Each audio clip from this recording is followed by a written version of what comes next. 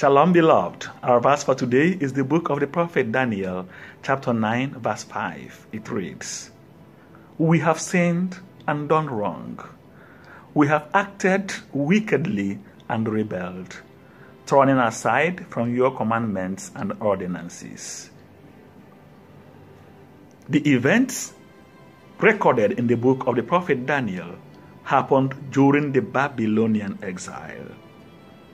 And here we have this touching prayer of Daniel made on behalf of the people, in which Daniel implored the good Lord to have compassion on his chosen people, to forgive them, to forgive those who, by their own folly, by their own guilt, are suffering this exile. They chose not to keep the commandment of the Lord, and this became the result. Daniel began by acknowledging something important about God. In chapter 9, verse 4, the preceding verse, he says clearly, O Lord, great and awesome, keeping covenant and steadfast love with those who love you and keep your commandments. The Lord keeps steadfast love for those who keep his commandments. And here is Daniel praying for a people who chose not to keep the commandments of the Lord. And he was very clear about that. He was very clear in acknowledging the guilt of the people. We have sinned. We have done wrong. We have acted wickedly. We have rebelled. We have turned aside from your commandments and ordinances.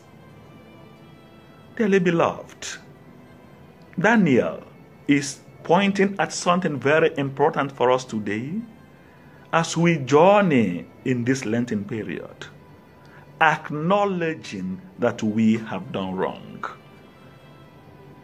Many great men we see in the scriptures and in the history of Christianity are great not because they did not do wrong, but because they acknowledged that they have done wrong.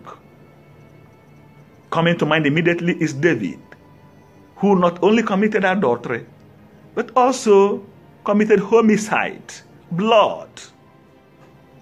But when he was confront, confronted by the prophet, he totally acknowledged his guilt. We look at the story of St. Augustine, who lived a rough life as a youth. But when the light of God shone upon him, he turned around, metanoia, acknowledging his folly. This is what the Lord God requires of us today. It is bad enough that we sin, but it is a catastrophe that we do not acknowledge our sin. The catastrophe is not that we sin, but we refuse to acknowledge that we have sinned. And that is why sin continues to grow. When we justify our wrong deeds, when we refuse to say, I am sorry to God and also to our fellow human beings. A little thing that we have been resolved continues to grow and grow until it grows out of proportion. Dearly beloved, the Lord calls us to Himself. The Lord calls us to look inwards, to acknowledge the areas where we are weak, to look up to Him, to say, I am sorry, I am guilty. When Daniel says, We have sinned, Ratanu, he is saying, We are guilty. Therefore, by justice we should be punished, but rather have mercy on us. When we ask the good Lord in this season of Lent, no matter how much we have tried in the past to justify our wrong deeds, that we come clean to say, Lord, I am sorry.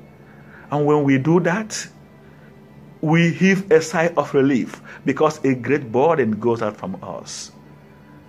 When we acknowledge our sins, it touches the very heart of God. He is compassionate. We ask for this grace to say, I am sorry to God and to those we have offended. As we do that, may the Lord heal us, body, soul, and spirit, through Christ our Lord. Amen. Remain blessed this season.